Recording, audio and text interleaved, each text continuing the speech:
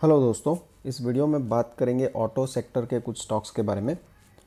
और अगर आप कोई डीमैट अकाउंट ओपन करना चाहते हैं तो कोटक सिक्योरिटीज़ आपको ऑफ़र कर रहा है ज़ीरो ब्रोकरेज और on intraday trades. So, link description में, अगर आप चाहें तो लिंक पे जाके अकाउंट ओपन कर सकते हैं।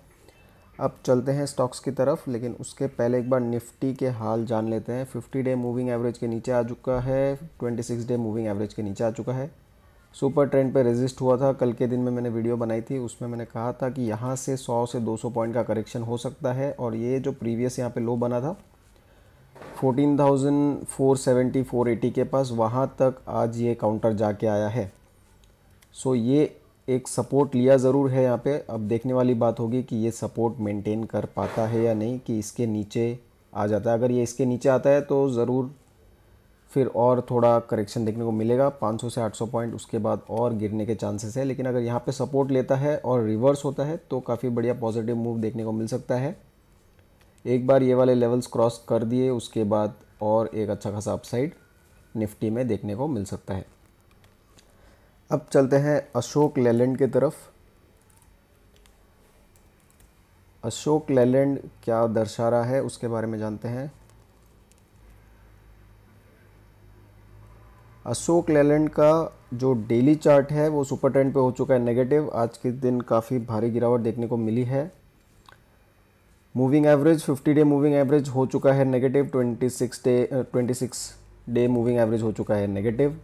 आरएसआई आ चुका है काफ़ी नीचे। मुझे ये लग रहा है कि 110 पे एक सपोर्ट जो लिया है, वहाँ पे अगर बाइंग अपॉर्चुनिटी बनेगी, सो अगर आप बाई करना चाहते हैं तो 110 के लेवल्स पे नज़र रखें। इसके नीचे अगर जाता है तो फिर अवॉइड कीजिए, लेकिन फ़िलहाल के लिए मुझे लग रहा है कि यहाँ से और नीचे ही जाना चाहिए, क्योंकि सुपर ट्रेंड हो चुका है नेगेटिव आरएसआई काफ़ी नीचे है तो हो सकता है छोटा मोटा एक अपसाइड देखने को मिले, लेकिन उसके बाद दोबारा नीचे जाने की फुल चांसेस है। अगर आपके पास ऑलरेडी होल्ड किया हुआ है आपने लोअर लेवल्स में तो आप यहाँ पे थोड़ा बिकवाली कर सकते हैं, थोड़ा प्रॉफिट बुक कर सकते हैं। आज स्क्रैपेज पॉलिसी आया है, जिसकी वजह से ऑटो सेक्टर को काफ़ी ज़्यादा फ़ायदा होगा, क्योंकि 15 से 20 साल पुरानी गाड़ियाँ अब स्क्रैप हो जाएगी और फिर नई गाड़ियाँ लोगों को लेनी पड़ेगी।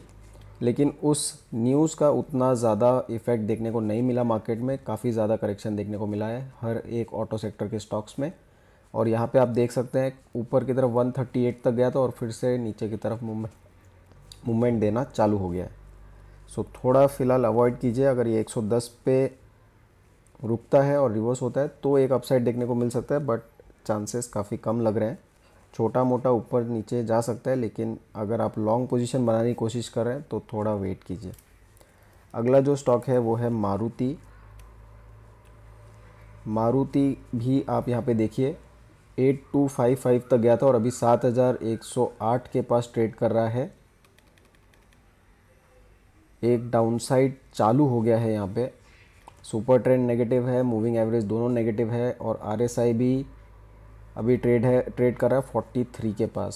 सो so, कोई पॉजिटिव मोमेंटम नज़र नहीं आ रहा है भले ही न्यूज़ कितनी भी अच्छी हो कंपनीज़ के लिए लेकिन यहाँ पे अगर आप देखेंगे एक डाउनसाइड मोमेंटम चला आ रहा है। सो ऑटो सेक्टर सब इलेक्ट्रिक व्हीकल कह रहे हैं फ़ायदा होगा ये होगा वो होगा बट नज़र ऐसा नहीं आ रहा है।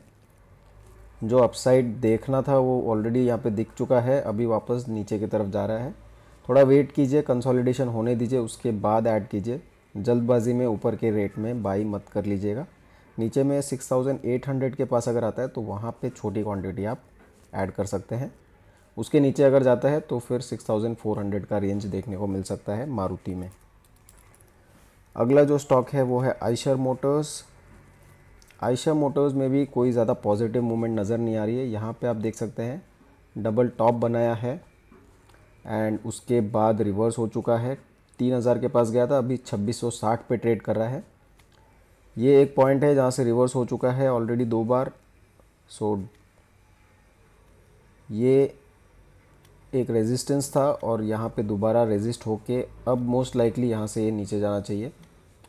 सो so, थोड़ा वेट कीजिए अगर ये ब्रीच होता है तब एक अपसाइड देखने को मिलेगा उसके पहले नहीं मिलेगा। नीचे के लेवल्स में अगर 2500 के आसपास आता है तो एक बाइंग कर सकते हैं आयशर मोटर्स में। वरना फ़िलहाल रहने दीजिए, काफ़ी ज़्यादा ऊपर है आरएसआई भी 50 के पास है। सो मुझे लग रहा है यहाँ से थोड़ा नीचे ही जाना चाहिए आयशा मोटर्स। अगला जो स्टॉक है, वो है महिंद्रा। ये अकेला एक ऐसा स्टॉक है, जिसमें थोड़ी पॉजिटिव मोमेंटम नज़र आ रही है। आज के दिन में काफ़ी स्ट्रेंथ बनाए हुए रख, बनाए रखा है इस काउंटर ने।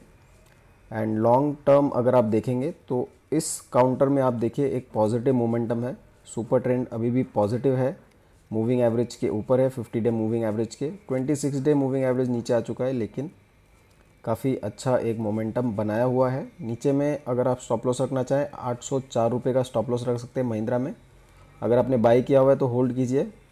और ये जो ट्रेंड लाइन चला रहा है, एक बार इसके ऊपर अगर जाता है तो यहाँ से काफ़ी अच्छा एक अपसाइड देखने को मिल सकता है महिंद्रा एंड महिंद्रा में। टाटा मोटर्स के बारे में कल मैंने वीडियो बनाई थी, फिर से एक बार रिव्यू कर लेते हैं। टाटा मोटर्स क्या कहता है, उसके बारे में भी देख लेते हैं। सो टाटा मोटर्स कल के दिन में यहाँ पे सुपर ट्रेंड नेगेटिव हो चुका था, लेकिन आज जो क्लोजिंग दी है, वो कल के क्लोजिंग से ऊपर दी है सो ये एक पॉजिटिव पॉइंट है। बट फिर भी 300 का स्टॉप लॉस ज़रूर रखें। 300 के नीचे अगर जाता है तो दोबारा एक करेक्शन देखने को मिल सकता है। अगर आपने होल्ड किया हुआ है 300 के लेवल्स पे नज़र रखिए।